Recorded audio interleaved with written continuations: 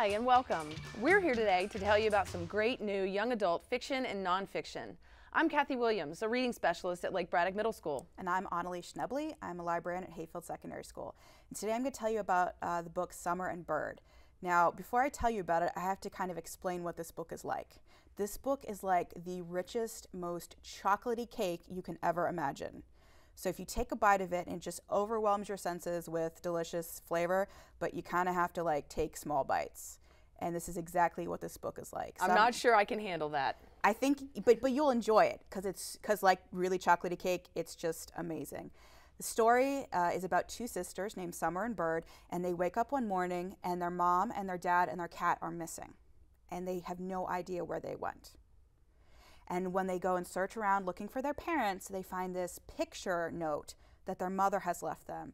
And they look at the pictures and put together the clues, and they figure out that they're supposed to go to the woods to look for their mom and dad. So they do.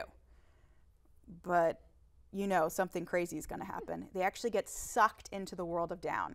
And in the world of down, it's filled with all of these birds, these birds that actually talk.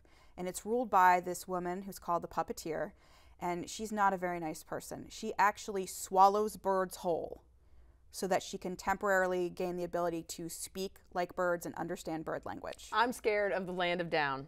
It is not always the nicest place. It's very strange and kind of creepy. Uh, and to make matters worse, once the sisters get down there, they actually split up and they end up going on two very different journeys. Um, and they run into all sorts of very strange creatures and spirits and trying to find the Bird Queen and bring the birds back to their true home. So it's a great book for students who like very rich, imaginative fantasy. So kind of spooky too. Oh, definitely there's some spooky aspects. Right. And that's today's book talk.